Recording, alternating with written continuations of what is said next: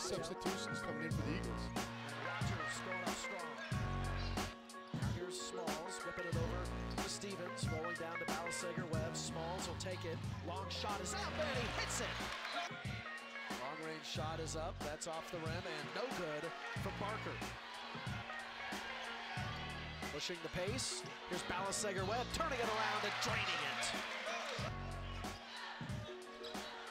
Here's Stevens.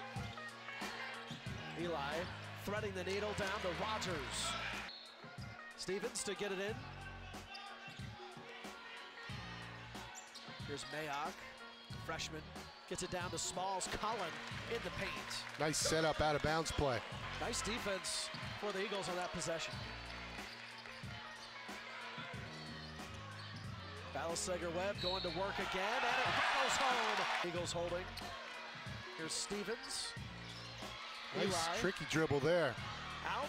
The shot here is up and it's good. Big exclamation point there for Donadio. 26 to 10, edge to AU. 26 to 10 in the paint. You would think Army would have the advantage there. And why not keep going back to it? Eli Stevens starting off the second half. And he finishes paint with the right hand. as he looks to move around. Donadio now ball, ball as he goes up. There's going to be a whistle. Jones working it to Stevens. Donadio, Mayock, and Rogers out there also for AU. Eli driving, scoring. And Dwayne's a, a stats guy, likes to look at the numbers. And I said, do you look at overall or you look at a conference at this point? Mayock drives, shoots, and scores. Maybe there's not such thing today's basketball. Yeah, right? Nice bounce pass.